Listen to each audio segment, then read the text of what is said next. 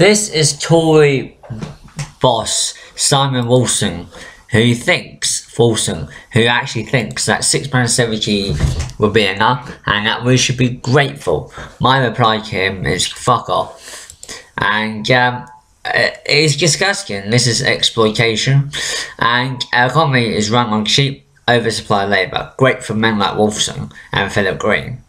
But for those struggling getting jobs or forced to take pay, uh, pay cuts, because uh, Poles can get Poles can get cheaper. I believe that um, it just makes us so angry, really, because men like Simon Wolfson want us to remain part of the EU because it's advantageous to him, but not to millions of workers who are earning £7.69 or less.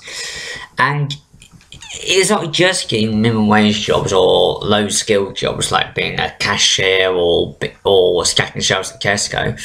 It in professional jobs, people are being forced to take pay cuts because if Europeans can do the job cheaper. If you're in a if, if you're in a profession, in a professional job, um, I don't know, uh, like like a solicitor's firm, for example, or in, working in a state agents, for example, there too, the market, the job, the wage market is being uh, targeted, and from nearly every single job you look at, many people are being paid less than they were 10 years ago.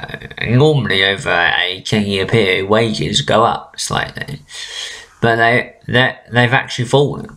People are earning far less than 10 years ago. And the cost of living is rising, and who the hell is George Osborne trying to kick? Tories like uh, Lord Wolfson here are so out of touch, it's unbelievable. And this is why uh, people have people have disconnected with the establishment uh, because it's just mind-boggling how he can actually say this. I'd like him to try and live on uh, six pounds seventy an hour. I would like him to see how how it, how hard it is. Ship them all as well, make it work the next four months, and force him to live with some rotten Brexit for a month. I mean, this man is so out of touch, unbelievable.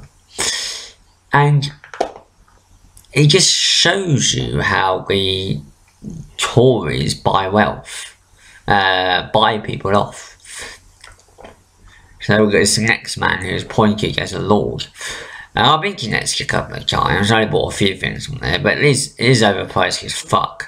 I won't, I won't actually go in there, do you know what I mean? Um, But like I say, the minimum wage should be at least £8 now and now. And I believe people should be paid for what they do. Uh, the care industry is a big um, problem. Uh, because majority, I mean, if you look at the care home, uh, people who own care homes, the care home industry, they are making millions out of vulnerable elderly people. Yet they pay their staff very little minimum wage for doing that sort of work. Uh, washing backsides, uh, feeding residents. Um, you, you gotta think about what they do. I mean, it'd be your mother or grandmother being careful there.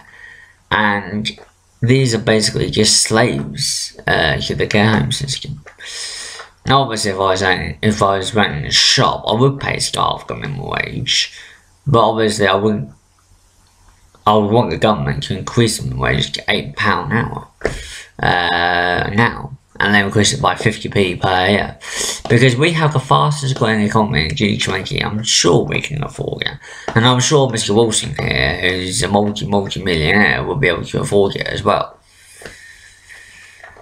Awful man.